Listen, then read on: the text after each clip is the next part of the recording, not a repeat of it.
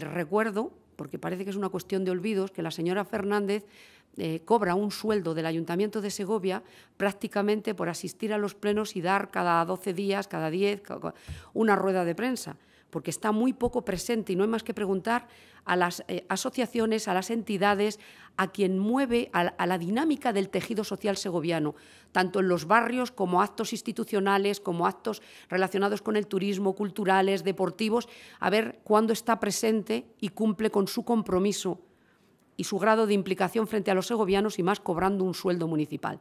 Poco, escasito, escasito.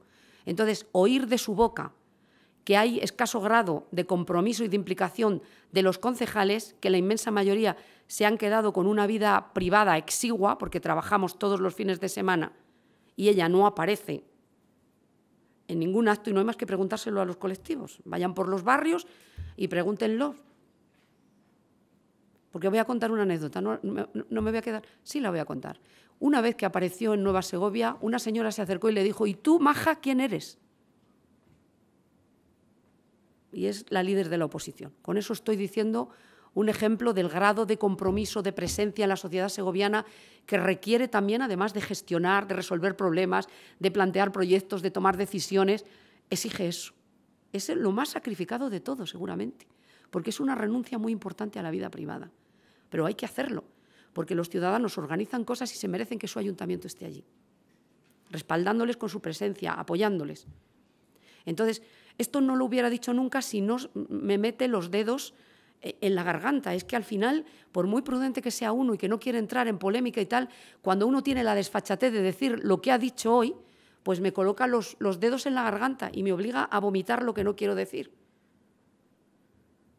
Que me parece, me parece que se le olvidan muchas cosas. La primera, ¿quién tiene la responsabilidad de gobernar? No por nada, ¿eh? porque se la han encomendado los ciudadanos solo por eso, y tiene que tomar las decisiones, no tiene que tomarlas al dictado de otras personas que no han sido tan avaladas en las urnas. La primera es a la segunda, que cuando habla de vergüenza estamos hablando de un partido que ha sido declarado por la Audiencia Nacional como una organización criminal.